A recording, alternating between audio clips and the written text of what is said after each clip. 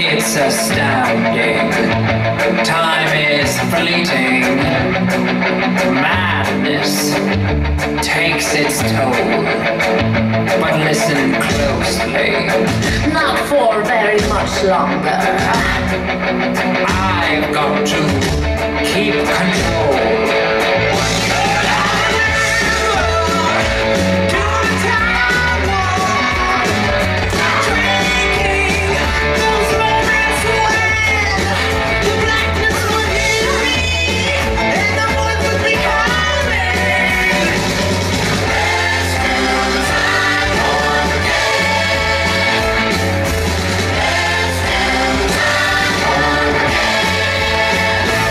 jump to the left.